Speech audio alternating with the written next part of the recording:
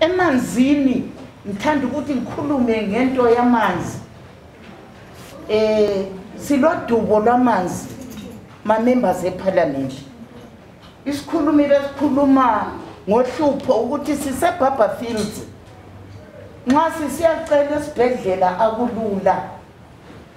it's true akulula kodwa empilo sesifake ama-boholes ayi-four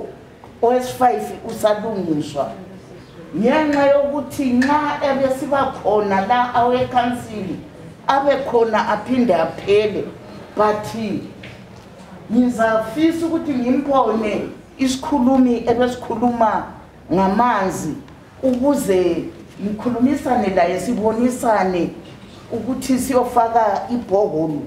lapha kangatsho khona kanti-ke uhulumende uncedise kakhulu inyamendlovu akhwifa isinika on daily basis i-10 megawatts into the city angena kumagwegwe reservoir as we speak basafinaliza abasebenza ku-epping forest layo izasinika by end of october sizabe sizuza 10 megalitres again